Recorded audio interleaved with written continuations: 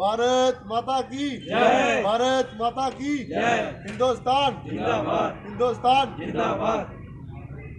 हम सभी S S C G D दो हज़ार अठारह के कैंडिडेट जिन्होंने 2018 S S C G D की पैरामिलिट्री फोर्स की भर्ती देखी थी जिसमें सभी ये कैंडिडेट रिटर्न एग्ज़ाम क्लियर हैं फ़िज़िकल क्लियर है और मेडिकल क्लियर है।